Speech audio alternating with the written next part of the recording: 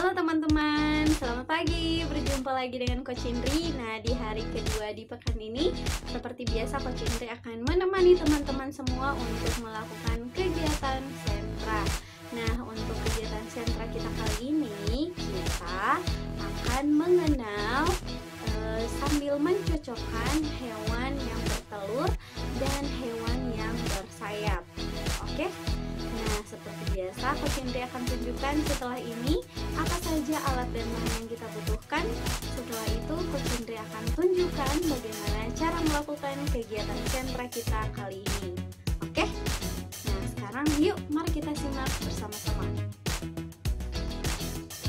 Nah, teman-teman, untuk alat dan bahan yang kita butuhkan untuk sentra kita kali ini, yang pertama ada spidol atau teman-teman bisa juga pakai pensil, dan kemudian kita butuh lembar kerja yang akan eh, teman-teman uh, gunakan. Oke, nah sekarang kita mulai ya. Yang pertama, kita akan menghubungkan dengan garis hewan apa saja yang berasal dari telur. Nah, yang pertama ada gambar ayam. Nah, teman-teman, ayam termasuk hewan yang berasal dari telur. Jadi, kita akan membuat garis di sini. Nah, bagaimana kalau dengan bebek? Iya, bebek juga termasuk hewan yang berasal dari telur. Nah, sekarang ada gambar gorila.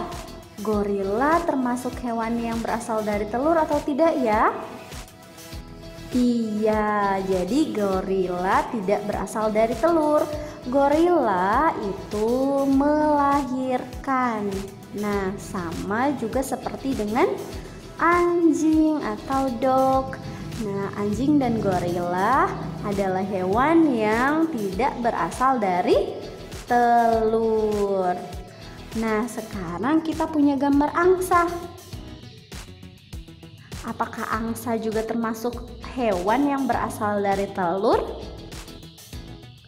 Iya, benar sekali. Sekarang kita buat garis. Nah, bagaimana kalau dengan paus? Iya, paus juga melahirkan. Jadi, paus tidak berasal dari telur. Nah, kalau burung bagaimana? Iya, burung juga berasal dari telur. Oke, nah kemudian kita akan melingkari mana saja hewan yang memiliki sayap. Oke.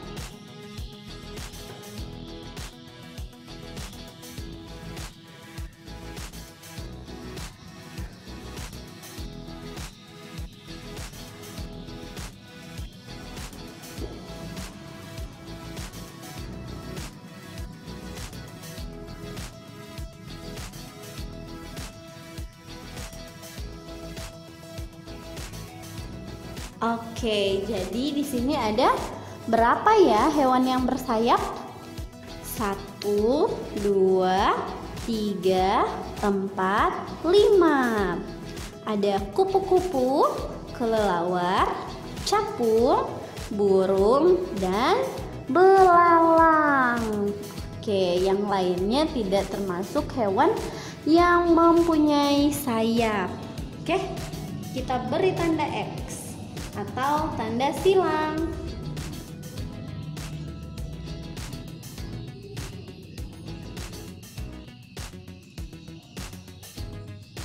Oke, nah teman-teman itu dia tadi kegiatan sentra kita kali ini. Selamat mencoba.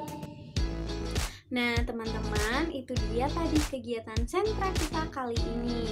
Semoga teman-teman suka ya. Dan sekarang teman-teman sudah tahu apa saja hewan yang bertelur dan hewan yang bersayap. Nah, sekarang giliran teman-teman di rumah untuk mencobanya. Terima kasih sudah bersama dengan Coach Indri dan sampai jumpa di video berikutnya. Dadah!